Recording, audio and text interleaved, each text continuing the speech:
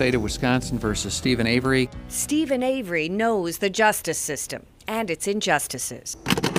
In 2003, Avery became a household name in Wisconsin after his exoneration for a rape he didn't commit. In 2005, he became a national headline when he was charged with murdering a young photographer. Today, Avery's an international cause after making a murderer question the fairness of the trial that resulted in his murder conviction. Have you ever planted any evidence against Mr. Avery?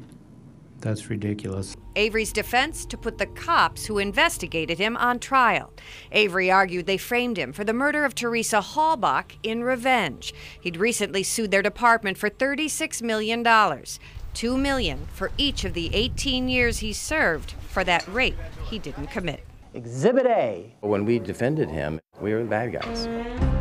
A decade and a hit documentary later, Avery's attorneys have achieved folk hero status, and amateur attorneys across the country are retrying the case. Poor people lose. Poor people lose all the time. In Making a Murderer, Avery suggests he doesn't get justice because he's poor.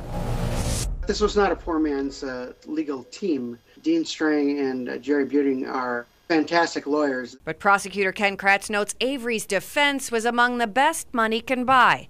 After Halbach's murder, Avery settled his lawsuit for $400,000.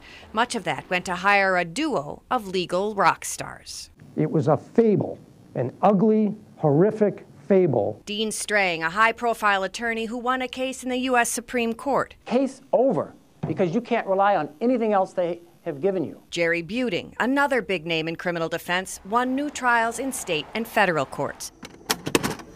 You had these uh, really talented defense attorneys. If there was a defense that was going to be raised, these were the two guys to do it. But that, I think, is what made this case so fair. Kratz headed Avery's prosecution team, which included its own heavy hitters. Do you know? Tom Fallon, the highly respected litigator from the Department of Justice. Did you find EDTA in the tube of blood of Steven Avery? And Norm Gahn, one of the country's DNA pioneers, the first to charge unidentified rapists using their DNA profiles instead of their names.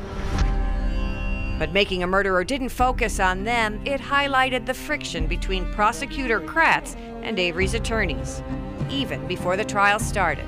If you knew Ms. Halbach before she was killed, it's our suggestion that you not listen to this press conference.